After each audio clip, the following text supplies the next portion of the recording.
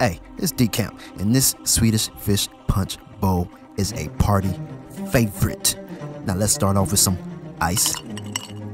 Because chilled drinks are always the best. Let's drop in a few pieces of Swedish fish.